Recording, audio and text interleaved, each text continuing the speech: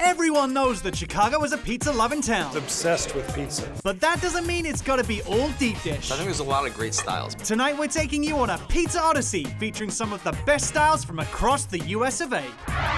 The Big Apple comes through in a big way in Bucktown. New York is where I developed my pizza taste buds. You always have to find a slice that reminds you of home. Motown belts it out in Evanston. When you bite into it, The crust is so crunchy. The edges are just super crispy. It's a completely different experience.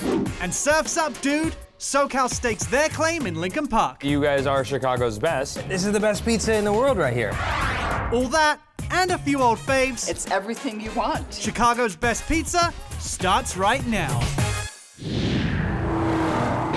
Chicago's best. We're on a mission to find Chicago's best food. Juicy, tender. good eats right there? Oh, yum. This is your show. It's the best because I say it's the best. The best. You know what to do. Instagram, Facebook, Twitter. Beth on Facebook. Tessa, send us here. Good food, good people. You can't find better than that.